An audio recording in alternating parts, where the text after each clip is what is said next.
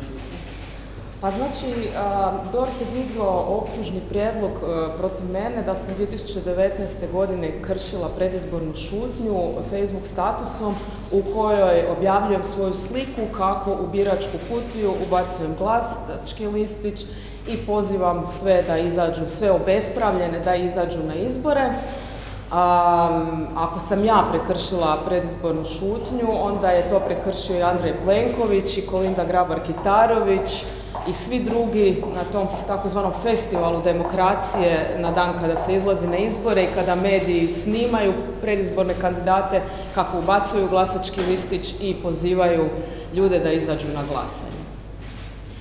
Da stvar bude smješnija, evo Đuro Sesa, tadašnji predsjednik Državnog izbornog povjerenstva, taj dan daje intervju za novine u kojem kaže da je predizborna šutnja u suvremeno doba jedan atavizam koji treba ukinuti zbog novih medija je to jednostavno nemoguće održati. Tako da mislim da ovo se ne može drugačije protumačiti nego kao politički pritisak koji ide za tim da zapravo financijski penalizira svoje političke protivnike jer kazna za to je do 30.000 kuna što uistinu nije malo.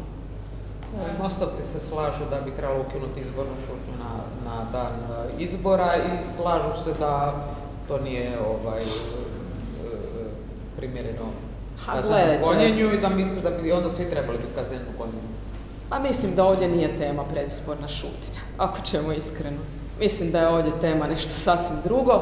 Što to konkretno? A to je politički pritisak. Mislim, nije ovo jedini politički pritisak, da se razumijemo. Mi smo prošle godine imali našeg tadašnjeg člana Ivana Cingela, protiv kojeg je Općinsko državno odvjetništvo također diglo prijavu da je povrijedio osjećaje nacionalne, pa ona, to je odbačena ta e, optužba, ali državno odvjetništvo e, Zlata Hrvoje Šipek nam ovdje u Saboru drži predavanje o tome kako nemaju dovoljno ljudi, kako nemaju dovoljno e, materijalnih resursa i kako oni zapravo ne mogu raditi svoj posao, da bismo mi dobivali ovakve optužne prijedloge gdje vidimo da DORH itekako ima resursa i ima materijalnih uvjeta da čačka po Facebook profilima. Još da kažem, da, to je bilo na anonimnu prijavu, jel?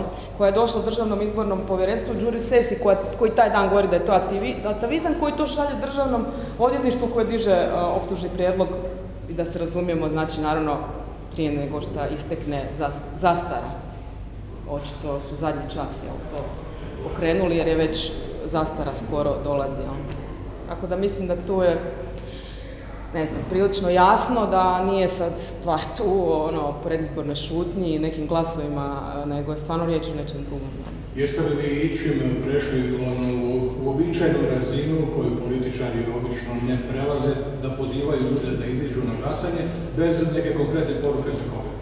Da, e, čak sam očekivala da će optužni prijedlog ići na tu e, liniju argumentacije, da sam pozivanjem obespravljenih da izađu na glasanje sugerirala da glasuju za radičku frontu, što bi bilo prilično nategnuta argumentacija, ali to bi možda bila neka argumentacija, ali optužni prijedlog uopće ne ide na to, nego tvrdi da je objavljenje slike, već kršenje predizborne šutnje, što svi znamo ovdje mediji jako dobro da nije slučaj, ali postoji razlika između zakona o europskim izborima i zakona o lokalnim izborima, gdje se zakonom o europskim izborima ne definira što znači e, promičba, ali to ne znači da ne znamo šta znači promičba. Znači imamo zakon o e, e, izbornoj promičbi koji definira što je promičba, to je pozivanje da se glasa za određenu stranku ili kandidata što ovdje nije bio slučaj, jel? ali nisu čak išli na to, nego se tehnička razlika vjerojatno uzima kao nekakav ne znam, mogućnost da se razlikuju, ne znam, možda europski izbori od